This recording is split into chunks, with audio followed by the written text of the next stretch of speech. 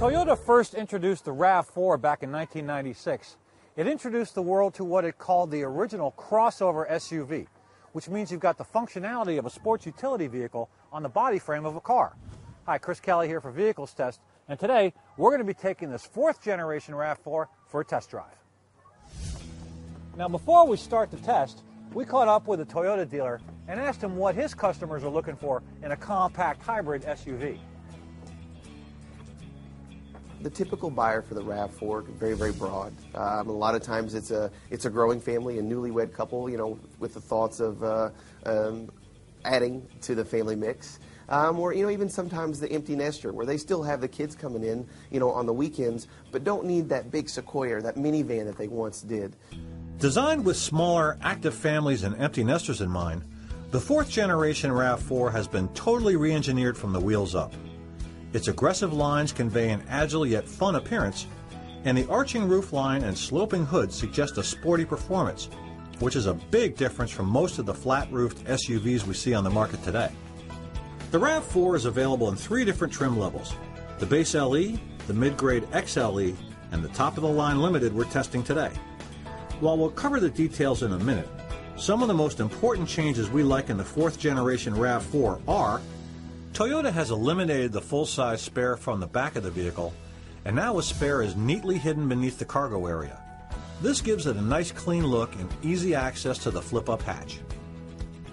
All trim levels of the RAV4 now come standard with a 6.1 inch touchscreen and backup camera.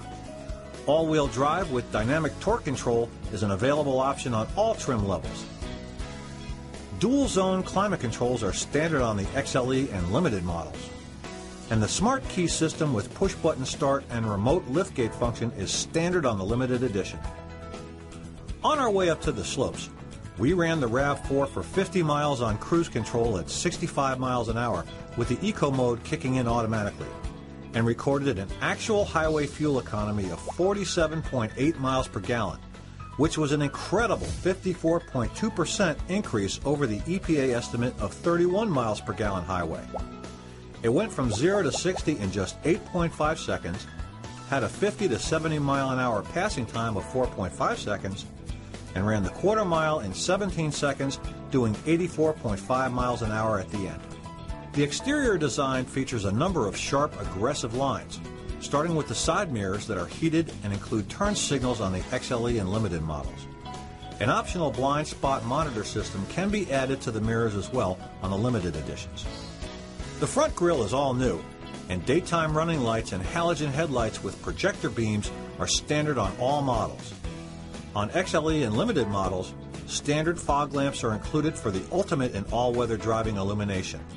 And to complete the athletic look, the roof spoiler not only visually extends the arc of the roofline and enhances aerodynamics, but it also includes a brilliant LED center brake light for added safety. While we're at the rear, we checked out the new One Touch Power Liftgate with driver selectable memory height settings. This is a great feature in the event your garage has limited headroom or overhead obstructions, such as a garage door opener. Nice touch. So now that we've covered the exterior, let's take a good look around on the interior starting right here with the business end of things. All fourth generation RAV4s come standard with a 2.5 liter four cylinder engine that produces 176 horsepower at 6,000 RPM, with 172 foot pounds of torque at 4,100 RPM. Unlike previous versions, however, the V6 is no longer available, but the transmission has been upgraded from a 4 to a 6 speed automatic. During our testing, the first thing we checked was the dynamic torque control all-wheel drive system, which uses information sent from a variety of sensors to automatically distribute torque between the front and rear wheels. The system has three modes. In the auto mode, power is applied to the rear wheels only when slip is detected, or when it senses steering inputs and cornering forces when on road. When the sport mode is activated, 10% of the engine's torque is automatically transferred to the rear wheels, and when the lock mode is engaged, the distribution is 50-50 front to rear, up to 25 miles per hour. This is great to get you up steep, slippery hills or out of muddy ruts. All right, we're climbing up. We're going to go through this big snowbank here, right through. Next, we have the little stream, and we're going to go right through that. All right, Now, let's try the turn. Good handling in the turn. But power and performance are only part of the story. The rest you'll find in this upscale interior. It all starts right here with the front row seating. All versions of the RAV4 have high seats with a slim back which adds additional legroom for the rear passengers. The LE and XLE versions have a six-way adjustable driver seat, while the limited edition adjusts in eight ways with memory, including a power lumbar support feature. Limiteds also get heated seats with two temperature settings, which is a feature we really appreciated on test day. Up on the dash, the RAV4 has an asymmetrical panel with clear blue illumination for easy viewing, and the lighting continues all the way down to the centerline cup holders, which are ahead of and just behind the gear shifter. The dash itself has a minimum of analog gauges just showing speed, tach, and fuel levels. The rest of the information such as engine temp, distance to empty, instant fuel economy, and outside air can be found by scrolling through the multi-informational display below the speedo. The wheel position itself can be customized because it tilts and telescopes, and the cruise control is located on its own stalk so it can't be accidentally engaged while using other controls on the wheel. All RAV4s come standard with a 6.1 inch display audio touchscreen that supports a backup camera and Bluetooth connectivity, along with a USB, auxiliary mini jack, and six speakers.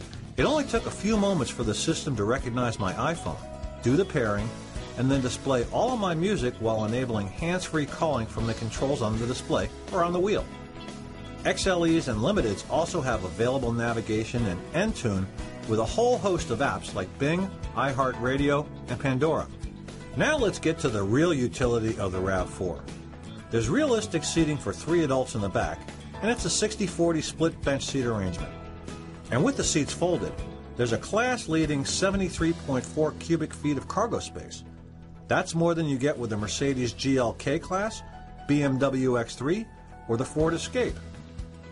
So as we've seen, thanks to its dynamic torque control, the fourth generation of the RAV4 can get you up and down from the mountain in style and with much better fuel economy than you'd ever expect from a sports utility vehicle.